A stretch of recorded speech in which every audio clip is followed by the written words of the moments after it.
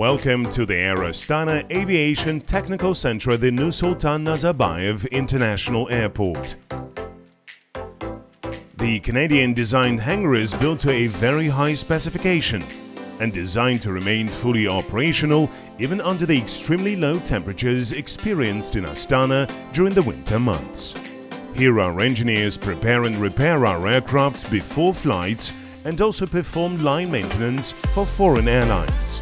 Currently, our fleet consists of 33 aircraft, including the new generation Airbus A320 family, A320neo and A321neo. In modern aviation, they are considered to be the most environmentally friendly aircraft with a 15% fuel saving and also a 10% reduction of carbon emissions.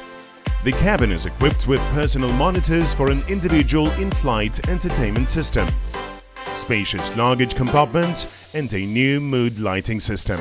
Air Astana, the Kazakhstan carrier, is the first and only airline in the CIS region that has commissioned this type of aircraft.